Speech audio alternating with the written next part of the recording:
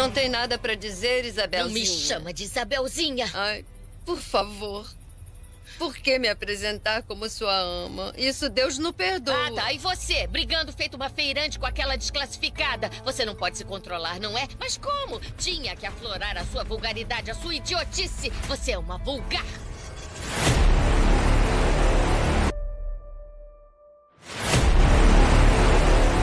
Meu coração é teu.